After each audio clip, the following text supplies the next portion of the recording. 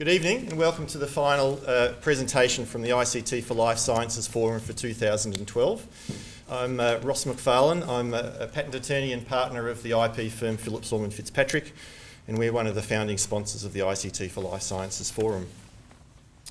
This evening, we're uh, delighted to have an international visitor to talk to us about a subject which I think is important for all of us, not just for the scientific community, but for everyone that lives on this planet. And that is, of course, how the Earth's biological, chemical, and physical processes are affected by us, by humankind. It's, uh, uh, of course, a topical subject, and you might have read in the newspapers yesterday, I think, uh, reports, or in fact, a warning from the uh, United Nations climate talks in Doha, reminding us that the Earth's temperatures are projected to rise by six degrees over the next century. So, our guest, Owen Gaffney, is a science writer and journalist and currently Director of Communications at the International Geosphere Biosphere Program based in the Royal Swedish Academy of Sciences. Owen will explore how global changes driven by the Industrial Revolution and the even larger changes that have come about through globalisation uh, are creating a global interconnectedness uh, and what this means for our future. So, can we please all join together and welcome Owen?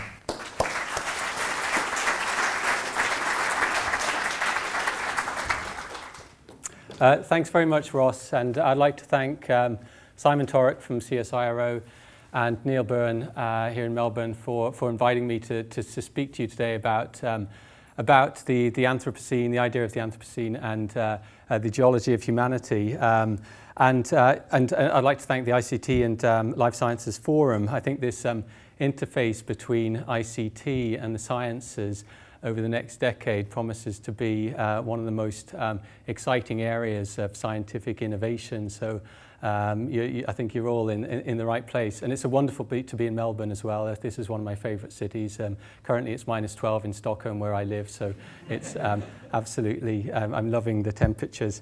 Um, so, and it's glad to, I'm glad to see uh, so many here tonight as well. Um, and I, I have a, a theory about that.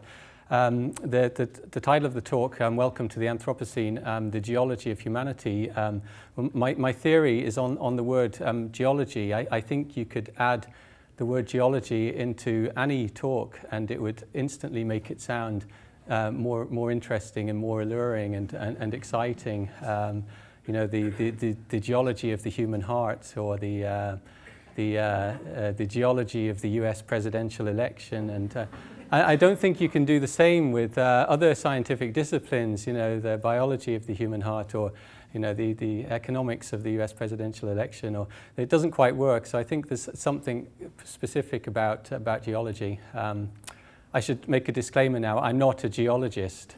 Um, um, my, my, uh, uh, as Ross said, you know, my background is in, in journalism, but, but way, way back, um, and, and, global change science. But my, my background really, um, my degree was in astronautic engineering, in spacecraft design and satellite design, and those kinds of things. And I've always been very interested in the very big picture, uh, big picture thinking and, um, and those ideas.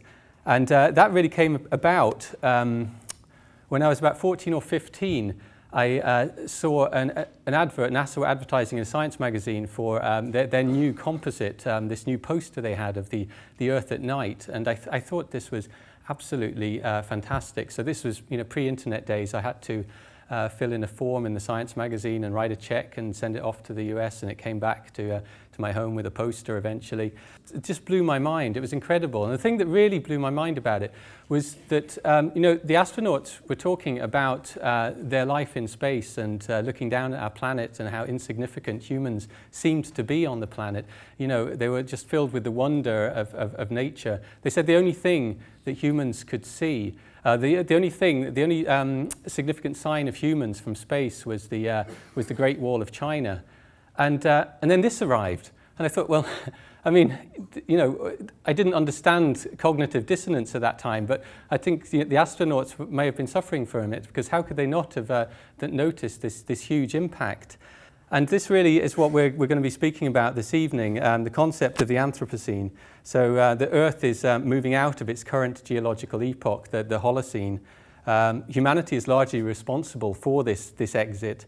Um, and humanity has become a, a, a, global geological force. You know, we have the impact of an ice age or, you know, a meteorite impact. Um, so we'll be discussing this in more detail.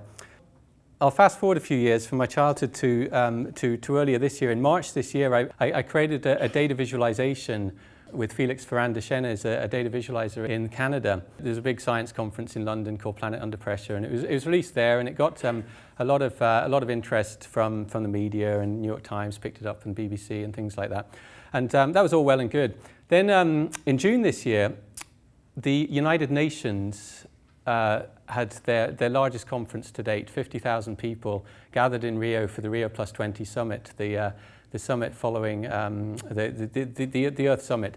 Um, and I got a call from the UN a couple of days before the, uh, uh, the event, and they said, um, would be interested in your film opening the Rio Summit. And I said, oh, what, what do you mean by opening the summit?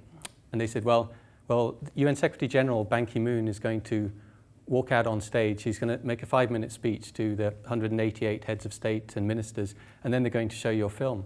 And I thought, oh, that, that is opening the summit. That's, that's, that's pretty good. Um, so uh, without further ado, I'll have to click out of here, and um, here we go. This is the story of how one species changed a planet. The latest chapter of our story begins in England 250 years ago. Fueled by coal, then oil, several brilliant inventions appeared. They ignited the Industrial Revolution, which spread like wildfire through Europe, North America, Japan, then elsewhere. The great railways, then cars and highways, connected people across the globe. Medical discoveries saved millions of lives. New artificial fertilizers meant we could feed more people. Population rose rapidly. But this was nothing compared with what was to come. The 1950s marked the beginning of the Great Acceleration. Globalization, marketing, tourism, and huge investments helped fuel enormous growth. People swarmed to cities, which became even more powerful engines of creativity. In a single lifetime, the well-being of millions has improved beyond measure. Health, wealth, security, longevity. Never have so many had so much. Yet one billion are malnourished. In a single lifetime, we have grown into a phenomenal global force. We move more sediment and rock annually than all natural processes, such as erosion and rivers. We manage three quarters of all land outside the ice sheets.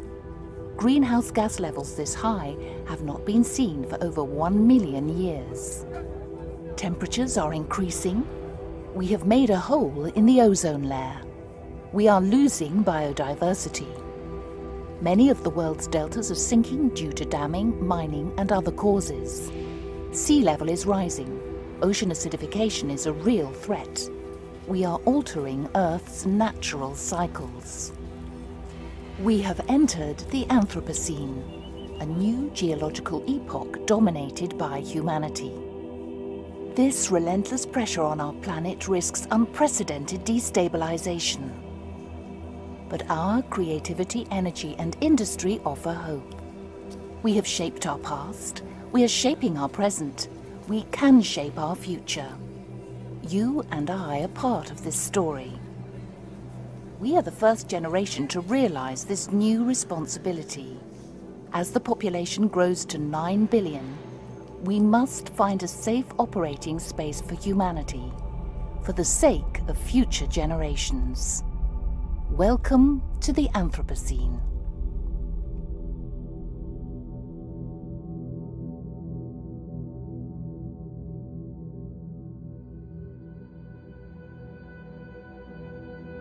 So I'm going to focus for a few minutes on, on this, this idea that, you know, in one, one lifetime, we have, uh, we have made this, this kind of impact on the planet. So this is the uh, Anthropocene.info uh, website. So IGBP um, worked on what, what have the major changes been in the last uh, 200 years or so, since the start of the Industrial Revolution. We, we put together a series of graphs. The important thing here is the, the timing on them. So um, I'm going to flick through um, a number of graphs, and we're going to look at uh, from 1750 through to 1950. So we've got population, GDP. So foreign direct investment, just keep looking at the, uh, the years here 1900, 1950, 2000. Water use, fertilizer consumption, urban population, uh, paper consumption, motor vehicles, telephones, international tourism, fisheries, shrimp farm production, um, domesticated land. Um, so what was the planetary response to, um, to, to, to this growth, to this uh, you know, uh, huge change in, in human activity? So atmospheric CO2 concentration, nitrous oxides concentration, methane concentration. Methane's a, a greenhouse gas more potent than carbon dioxide. He Northern Hemisphere surface temperature, ozone depletion, tropical rainforest and woodland loss, uh, climatic disasters, coastal zone nitrogen flux, biodiversity loss, um, so, you know, we're getting this uh, very strong signal um, that some scientists have called um, the, the, the, great acceleration. And here are the, uh, the graphs. This was really the um, foundation of the, uh, the first synth synthesis from the International Geosphere Biosphere Program. And you know, uh, in 2009, uh, Ban Ki-moon said our foot is stuck on the accelerator and we're heading towards an abyss. And this, this was really the accelerator he was talking about. In terms of the Earth system, what are we playing with here? Uh, this is a data visualization from uh, Adam Nieman showing um, on the left-hand side we've got um, water if it was represented as a um, single, um, as a sphere compared to um, the Earth. And um, on the right we have the, the global atmosphere. So this really is our, our life support system.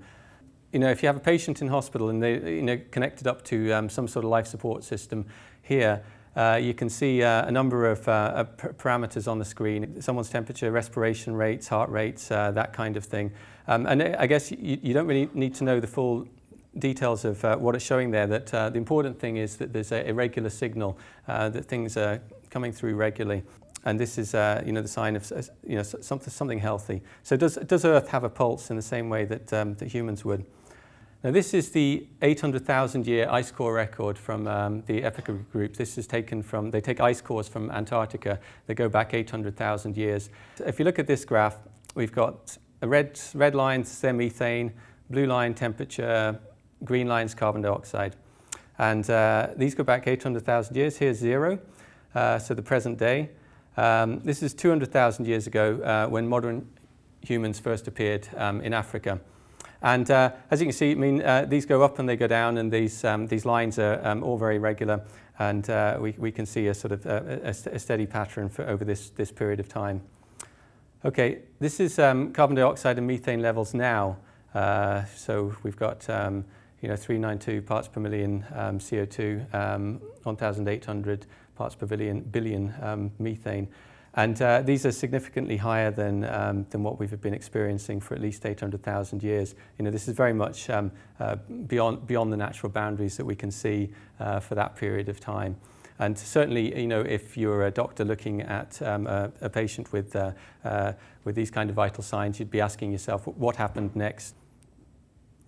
In the last few weeks, and uh, this was mentioned by Ross, um, you know, there's been a, a, number of reports coming out from um, uh, some, some various groups. Some, uh, uh for example, the, the, World Bank put out a report in a, a few weeks ago um, saying turn down the heat. Uh, we need to avoid um, um, heading for four degrees.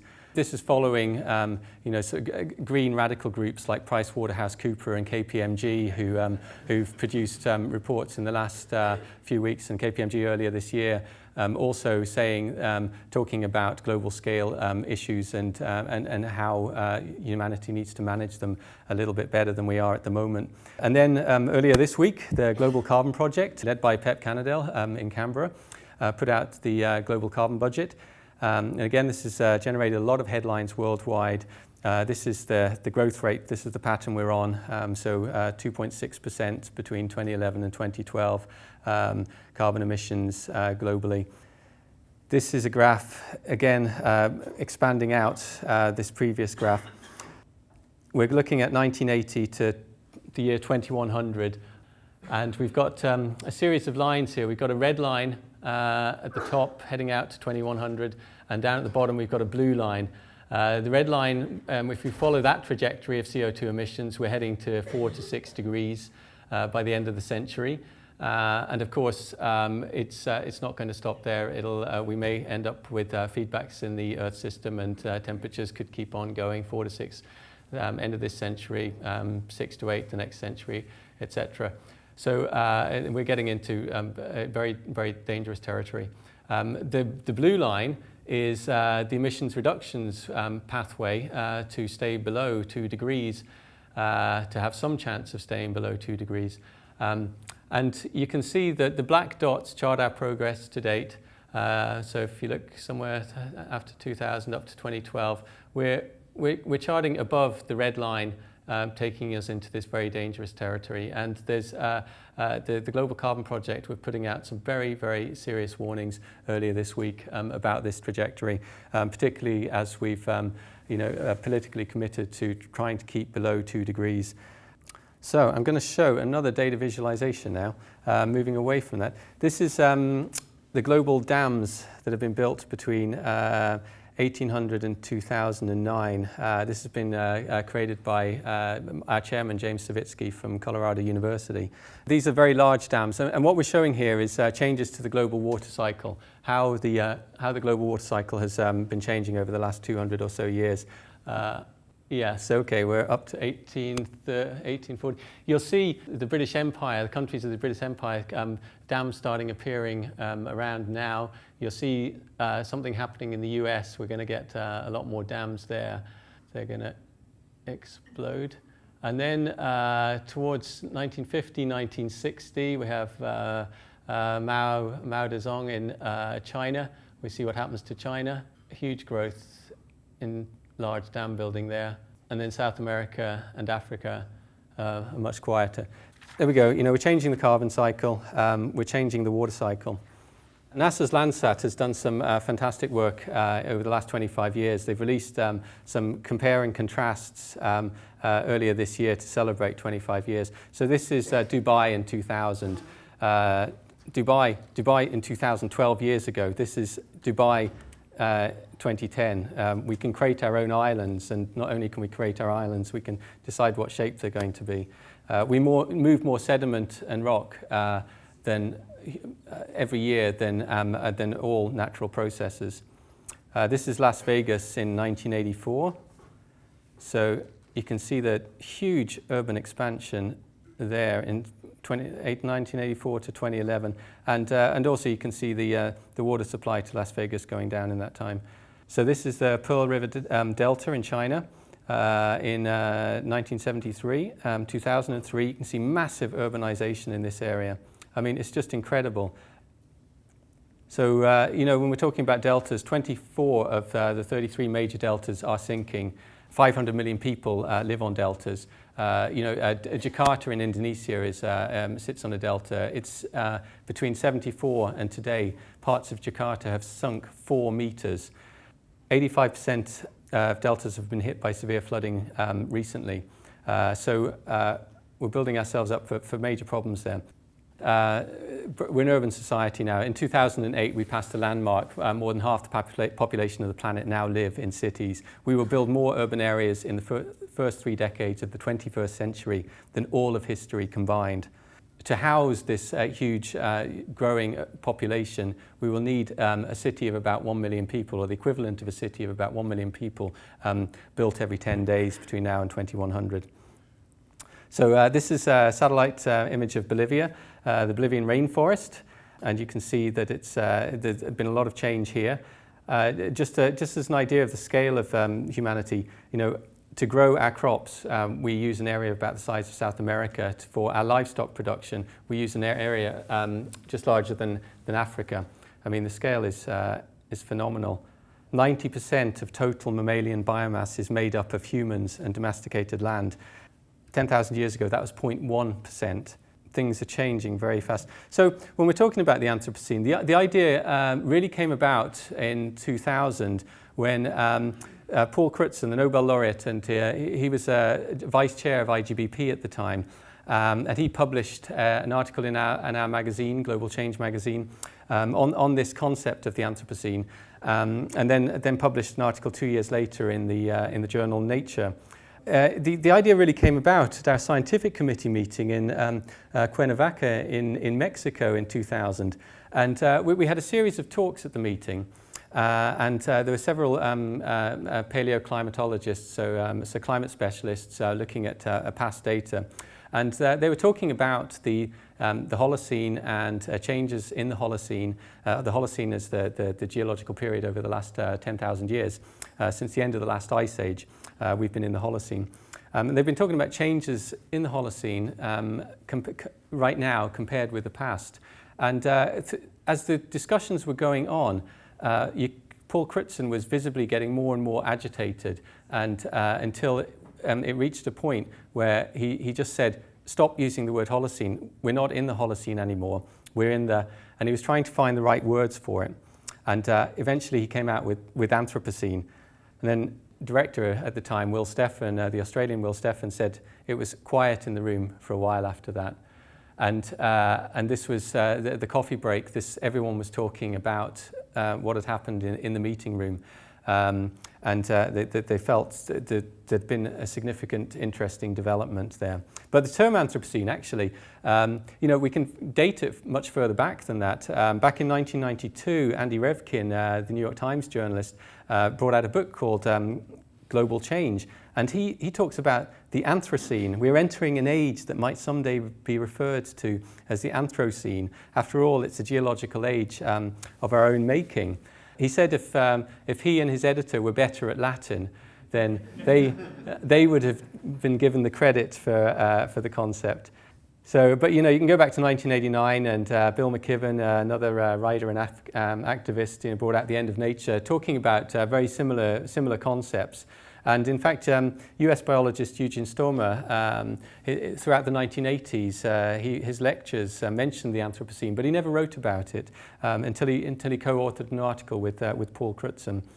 And, you know, this is the Earthrise photo, um, Earth at night, and uh, going back to 1969 and the, land, the, moon landings and then the Club of Rome and the first Earth Summit in, in Stockholm in 72, uh, you know, where a lot of these ideas of, uh, you know, planetary scale forces were being, uh, being discussed. But we can go back even further. We can go back to, um, you know, uh, there was a, a Russian geologist, uh, Vladimir Vernadsky. Um, he discussed life as a geological force. Um, and uh, he, uh, he, he, published a book, um, was first published in English in 1997, but uh, was published in, in Russian much, um, much earlier, um, talking about ideas like the noosphere, which is uh, the, the mind building in power and, uh, and controlling the environment. George Perkins Marsh, uh, he's, uh, he was a diplomat in the US um, back, in, back in the turn of the last century. And he, he, he, was, he was also one of the first environmentalists and naturalists. And he put out a book in 1864 called Man and Nature. And he had it reprinted 10 years later in 74. And he changed the title a little bit. And this was slightly prophetic. The Earth as modified by human action, man and nature. In that, you know, he discusses uh, the biosphere concept uh, that developed by um, Edward Suess. Um, but more importantly, there was a, an Italian geologist and, uh, and, and, Catholic priest called Antonio Stoppani, who um, uh, was around in, uh, uh, who in 1873 um, produced a text where he describes the, um, the Anthropocene um, era. In, in that, he says, you know, um, he described humanity as a new telluric force which in power and universality may be compared to the great forces of nature.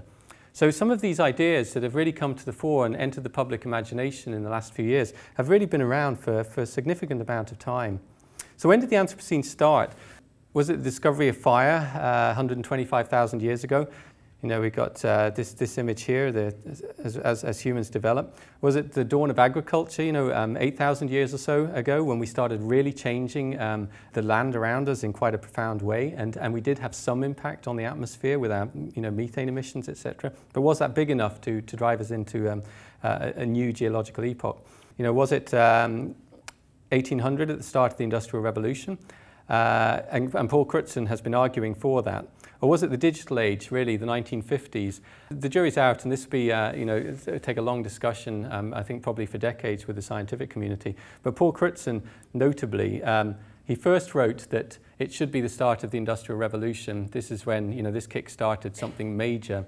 But now, in an article last year, he said, well, perhaps in fact, it, it should be 1950s um, when we really had this great acceleration. This is when things started changing um, dramatically. And there's, there's a, a, good reason for that as well. There's, um, uh, around that time, in 1945, we had the first atomic bomb blast in, in Trinity. And th that's that, that blast and, uh, and subsequent um, atomic detonations have, has left a radioactive layer in sedimentary uh, record. So th that'll be a clear marker for, for, for future generations.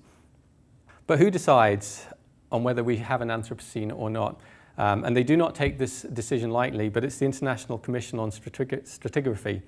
And they are, uh, they've set up a working group on the Anthropocene, and uh, they are, they're going through their long processes to, um, to discuss the idea and, uh, and whether it, uh, it merits um, you know, the change uh, from, from the Holocene to, to a new boundary.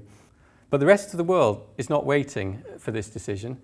In 2013, there's, uh, there's at least two journals, scientific journals, opening, starting up um, on the Anthropocene. This is uh, Elementa, uh, Science of the Anthropocene, uh, a new open access journal. Um, and Elsevier are launching a journal, um, also in 2013, on it. In, and in fact, in the last few years, uh, there's been over 400 papers uh, mentioning the Anthropocene in, in the scientific literature. The, the Economist last year uh, had a front page, Welcome to the Anthropocene, and uh, it, it's, it's really reaching out to beyond the scientific community into the, uh, the, the wider public imagination. Um, the BBC a few weeks ago was running um, uh, a, a four-part part, part um, series on, um, on the Anthropocene. They used a still from our film. Um, to, to, to promote it, the age we made. So, I mean, and there's, there's a lot of these things in the pipeline, and uh, there's the, the, Age in Australia has written an article about, uh, about it. You know, there's loads of, um, it's, it's, it's really bubbling up. Um, and I, I guess um, I've been speaking about um, many of the sort of, I guess, negative impacts on it, but the, I think um, on the Earth system. Um, but I think the Anthropocene concept uh, is, a, is a fairly neutral, neutral concept. I mean, there are, there, there are many pluses and, and minuses to it. Um, and I'm going to show you uh, a, sh a, short film um, on, uh, by, um, made by the BBC. It's, it's about four minutes long. And it's another data visualization um, produced by Hans Rosling, um, who's uh, an academic at Karolinska Institute in, in Stockholm. It's, uh, uh, he's, he's, a, he's a stone's throw away from me. Visualization is right at the heart of my own work too. I teach global health. And I know having the data is not enough. I have to show it in ways people both enjoy and understand. Now, I'm going to try something I've never done before.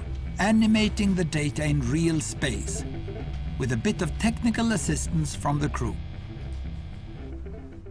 So, here we go. First, an axis for health, life expectancy, from 25 years to 75 years. And down here, an axis for wealth, income per person, 400, 4,000, and $40,000. So down here is poor and sick, and up here is rich and healthy.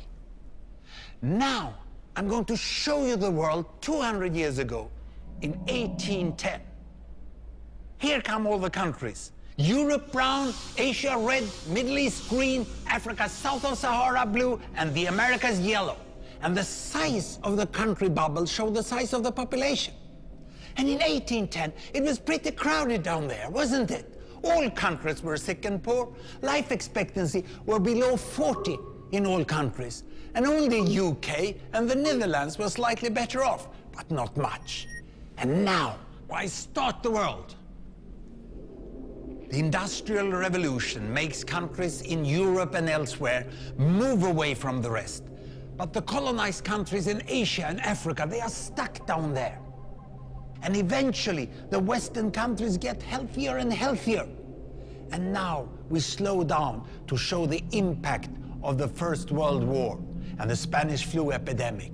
What a catastrophe! And now I speed up through the 1920s and the 1930s. And in spite of the Great Depression, Western countries forge on towards greater wealth and health. Japan and some others try to follow, but most countries stay down here. Now, after the tragedies of the Second World War, we stop a bit to look at the world in 1948. 1948 was a great year. The war was over, Sweden topped the medal table at the Winter Olympics, and I was born. But the differences between the countries of the world was wider than ever. United States was in the front, Japan was catching up. Brazil was way behind. Iran was getting a little richer from oil, but still had short lives. And the Asian giants, China, India, Pakistan, Bangladesh, and Indonesia, they were still poor and sick down here. But look what is about to happen. Here we go again. In my lifetime, former colonies gained independence and then finally they started to get healthier and healthier and healthier. And in the 1970s, then countries in Asia and Latin America started to catch up with the Western countries. They became the emerging economies. Some in Africa follows. Some Africans were stuck in civil war and others hit by HIV. And now we can see the world today in the most up-to-date statistics. Most people today live in the middle. But there are huge differences at the same time between the best of countries and the worst of countries. And there are also huge inequalities within countries.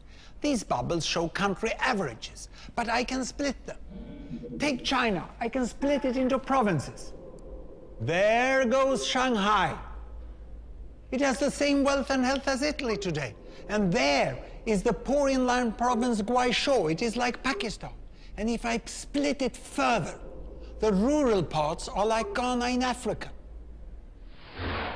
And yet, despite the enormous disparities today, we have seen 200 years of remarkable progress. That huge historical gap between the West and the rest is now closing. We have become an entirely new converging world. And I see a clear trend into the future. With aid, trade, green technology and peace, it's fully possible that everyone can make it to the healthy, wealthy corner. Well, what you have seen in the last few minutes is a story of 200 countries shown over 200 years and beyond. It involved plotting of 120,000 numbers. Pretty neat, huh? And that's that's fantastic. I mean, that's something we have to keep remembering. That um, I mean, there's so many positives, um, but we need to find some sort of way of managing the the, the global commons. This is uh, Elinor Ostrom, uh, Nobel laureate in economics, um, who, uh, who, who died earlier this year, unfortunately, uh, just before the Rio Plus 20 summit. Um, and you know, she said the, the concept of the Anthropocene heralds a profound um, shift in perception of our place in the world. I mean, I, I think that's true. I think when we look back on um, the, the, the history of the, the 20th century and, and all the, you know, the, big, the big landmarks of events, the Depression, the, the, the World Wars, the, the, the, Cold, the Cold War, etc., um, I mean, a few hundred years from now, um, they might pale into insignificance. The, the big story um, was uh, that humanity you know, became this, this, uh, this geological force. So much of the work of um, Elinor Ostrom um, did in her lifetime was really looking at um, how, to, how to manage common resources. And she found that um, you know, when you look at uh, uh, fisheries or forests or, um, or, or, or other common areas, um, they're often better managed um, by the people themselves rather than some sort of um, bureaucratic system. Uh, people found ways to manage um, common resources um, themselves, and she had a, a series of, um, uh, of, of rules and, um, and ways of understanding this, which I'm going to come to in a, in a few minutes. Later in her life, though, she really turned her attention to managing the global commons. You know, how do we manage the atmosphere, the oceans, the, the fresh water for this growing population? I'll come back to that in a minute. I'm going to um, come to something slightly different first. Here we have uh, Facebook, um, and I'm sure uh, this being an ICT and life sciences forum, you'll all, all be uh, very familiar with, uh, with this, or know and love Facebook, I'm sure. Facebook was, is remarkable. In, on the 14th of September this year, it hit um, uh, 1 billion users. It only started in, in 2004. The way I look at Facebook is um, uh, this, it's the pinnacle of the Industrial Revolution. Um, it's the industrialization of, of, of friendship in some way um, and, and the globalization of small talk. No, nobody asked them to do this, they, it just happened, uh, which is, uh, seems, seems fairly remarkable. But the statistics when it comes to um, ICT and uh, you know, global networking uh, are just incredible. We've got 2.3 billion internet users, 30% of the, the, the global population, 6 billion mobile phone subscriptions. By 2015, 60% of the world population will be online. And you know, this is the mobile network um, in 2009, undersea cables for Africa, and then 2012, uh, the, the internet cables. So the, the whole globe is getting, is getting linked up in, in quite profoundly. Within a decade, all but the most marginalized in societies will be connected in new and profound ways. And this is, this is a very, very exciting um, development, I think. We, we don't really know what way that is going to go. But we do know that uh, the power of these connections um, is, is changing um, societies in quite uh, interesting ways that certainly haven't been predicted. You know, um, here's uh, something from the Arab Spring. Uh, nobody predicted that. Um, you know, uh, the, the, regimes thought the youth were divorced from politics. They didn't notice that young people were connected among themselves. This is from a, a Syrian activist uh, in the Financial Times. Uh, so, this, so this new connectivity is, is, is creating something quite interesting. Um, this is the, uh, the Occupy movement. You know, we are the 99%. These very, very big uh, international movements have, have started up and uh, very, very quickly and, uh, and uh, having quite, quite an interesting effect um, on, on power. Uh, and this is with one third of the world um, connected up. In Nature, um, a year or so ago, uh, in fact, December last year, uh, there's an article called The New History, and they discuss some of these, um, these ideas in it. Discontinuities are precisely what you would expect if you consider today's societies from a complex systems perspective. And discontinuities there, they're talking about these you know, big, big changes in, uh, uh, like the Arab Spring, for example. Um, and social media, the article goes on to say that social media um, have the potential to facilitate qualitatively um, new collective behaviours. I, I find it interesting because we don't know where that's going. But going back to Elinor Ostrom, when she talks about um, the global commons, um, you know, her work on common resources has shown that isolated anonymous individuals over-harvest common pool resources. But she also says that simply allowing communication or cheap talk enables participants to reduce overharvesting. So people are um, able to talk about their resources um, and have some sort of understanding of them and discuss them um, openly and freely, um, then they have a better chance of managing them, um, she thought. And I wonder, would this apply um, to the, to the global commons? But she also said we need reliable knowledge. Certainly the internet at the moment doesn't provide reliable knowledge, but, but Google are working on that. Um, and individuals like to see how sustainability benefits whole groups. Um, and trust is very, very important for managing um, common resources. You need to build trust. And I think um, there's uh, the internet and social networking in particular does help build some of these uh, qualities in, uh, in quite an interesting way. Um, I mean, um, just going back to, uh, to Syria, uh, uh, there's, a, there's a website called Bambuser, which is like YouTube for, um, for live streaming. You know, you can just sign up and you can use your mobile phone to, to live stream some, um, uh, some video of what's happening. So I was uh, having lunch with the, the owner of Bambuser um, uh, in, in Stockholm a few months ago, and he said that during the Syrian civil war, that he could predict where there was going to be outbreaks of violence or fighting because people would be signing up for uh, Bambuser um, in the hours or days before, and then um, and then then things would happen. So um, it, it's it's uh, it's this this builds up trust because uh, you know regimes like Syria can't keep things to themselves anymore. Um, that the, the, the the news gets out. Yeah, so Facebook, uh, the, the whole social networking issue is, um, is, is quite profound uh, and, and is, is something to watch in the, the next decade. And in fact, I would go so far as to say, I'd, I'd coin a phrase, um, you know, keystone innovations on the way to sustainability. Uh, there's, you know, several, um, certainly, uh, you know, the internet is one, uh, but I think social networking is another um, keystone innov innovation that will, uh, will come to uh, appreciate more and more. And of course, it wasn't designed to do that, uh, which is another interesting fact. And just to perhaps support that a little bit more, this is uh, uh, Dan Kahneman, a Nobel Prize winning um, psychologist. Uh, and I've just finished his book, Thinking Fast and Slow, um, yesterday. And the, the last paragraph of it is that there is a direct link from more precise gossip at the water cooler to, to better decisions. Um, and I would say uh, that with social networking, uh, we're heading towards having uh, you know, a global water cooler that promotes gossip the Rio Plus 20 summit, going back to that, the Rio Plus 20 summit was the biggest outcome from that was the idea to create a set of sustainable development goals. So going beyond the Millennium Development Goals for developing countries, which um, have had uh, a reasonable amount of success, um, to creating sustainable development goals that are universal for, for all nations to find um, a route through to sustainability. And um, uh, to put us on some sort of pathway. And I think um, th these are going to be fought over for the next uh, next few years and um, probably um, you know finalised and announced in, in about 2015. I would certainly think having some sort of goal to create you know ICT access um, for all uh, a would be um, reasonable and achievable in the next uh, 15 years. Um, we're, we're on that that that route already. Perhaps I could uh, wrap up with uh, some conclusions on this. That uh, you know, in one lifetime, humanity has become a global geological force. I mean, this is just incredible. Since the, since the 1950s, this has happened. You know, Earth is moving out of its current geological epoch, the Holocene, and action on global sustainability is, is, absolutely essential.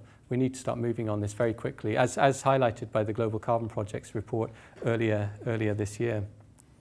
And uh, could social media be one of the several keystone um, innovations as we move towards a sustainable society. Uh, so finally, as this is ICT and life sciences, I would say, um, you know, like DNA, the word Anthropocene is destined to leap from the world of uh, science and into the global lexicon um, over the next few years. Because like the word DNA, I think the Anthropocene concept has uh, profound implications for our worldview. It would be part of the process of um, moving, of changing our, our worldview to something that is truly global. These are the uh, two websites, the Anthropocene.info that I was talking about earlier, and uh, I have a, a blog, um, the Anthropocene Journal, and uh, here's some, some ways of uh, contacting me. Um, but I'd uh, just uh, finish by thanking the organisers for inviting me here today. It's been, been wonderful speaking to you. So thanks for the wonderful talk, and can we all thank Owen once again? Good, thank you. Um, there's some exciting news regarding a couple of uh, individuals who have been very supportive of the ICT for Life Sciences Forum that we'd like to uh, announce. Um, and these are two individuals who were recently elected as Fellows of the Academy of Technological Sciences and Engineering. The first is Mr Glenn Whit uh, Wightwick, uh, who heads IBM's Australian research effort and is the company's CTO. And he was recognised for his contribution to the development of Australia's ICT industrial R&D base we also have Professor Stan Skafidas of NICTA and the Centre for Neural Engineering from the University of Melbourne. And he was recognised for his vision, leadership, and technical accomplishments in industry research and academia.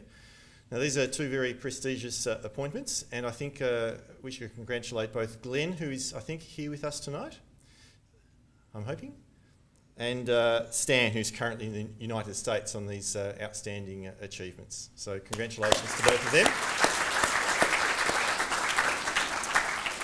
And the, the final task tonight is to uh, announce the details of the 2013 Graeme Clark Oration. Uh, as many of you will know, the Graeme Clark Oration was established in 2008 by the ICT for Life Sciences Forum to honour the uh, contribution of uh, Laureate Professor Emeritus Graeme Clark for the development of the bionic ear in the 1970s. Uh, the uh, 2013 oration will be the fifth such oration, and we're hoping it will continue the uh, strong reputation uh, that's been developed, uh, making it one of the major public science events in Melbourne. Now, we were hoping that Professor Clark would be here this evening, but unfortunately, there's an illness in his family, and so he has asked his good friend uh, and member of the Graeme Clark Oration Organising Committee, Professor Emeritus David Pennington, Chairman of Bionic Vision Australia, to announce the details. So, Professor Pennington, over to you. Thank you, Ross.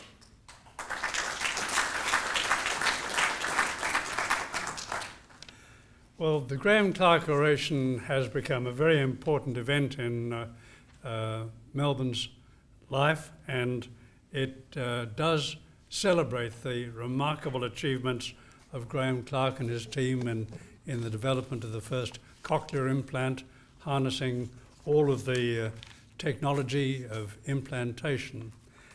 Uh, the last uh, Graeme Clark Oration was given this year by Professor Dame Linda Partridge, and you'll understand that the oration is capable of, of achieving uh, huge interest in the, in the Melbourne community and more widely. Four events later, the Graeme Clark oration has rightly become recognised as a major public science event. And uh, there has, at the audience, been almost 5,000 attendees since it began, and a thousand people have attended the oration dinner for sponsors and their guests. The 2013 Graeme Clark oration will be, in fact, a very remarkable one. It is to be given by Mr. Geoffrey Lamb, who is President of Global Policy and Advocacy for the Bill and Melinda Gates Foundation on Monday, the 29th of April, at the Melbourne Exhibition Centre.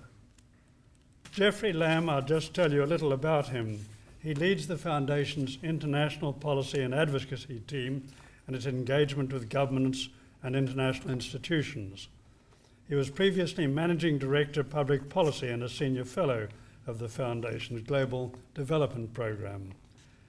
Before joining the Foundation in 2006, Mr. Lamb held several senior positions at the World Bank, most recently as Vice President of Concessional Finance and Global Partnerships. In that capacity, he chaired a series of international negotiations through which governments provided the largest increase in more than two decades of World Bank funding for the world's poorest countries, and subsequently agreed to the financial framework to forgive multilateral debt of 40 countries. An Irish citizen, Mr. Lamb was born in South Africa and educated in South Africa and the United Kingdom. He was a fellow and deputy director of the Institute of Development Studies at the University of Sussex. He was a member of the board of the Global Fund to Fight AIDS, Tuberculosis, and Malaria from its founding in, until 2006 and has been a board member of the International AIDS Vaccine Institute since 2000 and its chairman until 2008. He served as chairman of the international negotiations for replenishment of the African Development Bank's, Bank's concessional arm with the African, African Development Fund in 2009 and 10. The oration will review the extraordinary success of the past half century in reducing mortality and disease. It will show how investments in health have been critical for economic growth and reduction in global poverty, and help bring the goal of the end to absolute global poverty within a generation. But in respect of the huge basic health advances of recent decades, there have been, which have been the easy part, for example, big investments in routine vaccination and cleaner water have already delivered most of their dividends, and meantime, we may face a long contraction in public finance, which will make it much harder to fund the future investments.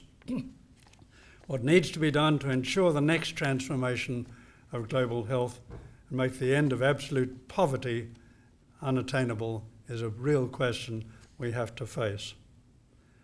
Geoffrey Lamb, as the 2013 oration, has an extremely well credentialed and globally experienced individual who will no doubt inform and inspire us with his thoughts and messages.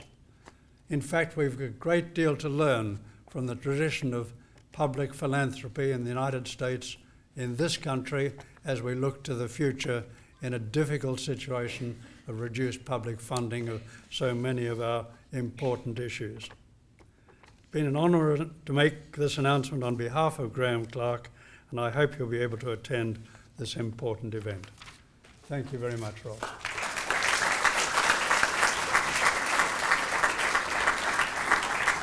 Th thank you, David, and we look forward to attending the oration in April. Well, that concludes the uh, presentation and the presentations for 2012. So thank you for your support of the ICT for Life Sciences uh, Forum.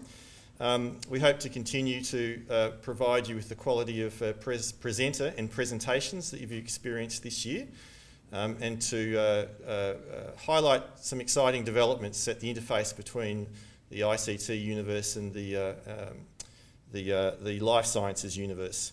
Uh, so as uh, one of the sponsors of the forum, um, I am sure I can speak on behalf of the other sponsors to say that we're proud to be associated with the forum. I think it's an important entity and uh, we look forward to uh, helping it with its future work. And before we go, I'd just like you to all join me in thanking Owen once again for his presentation.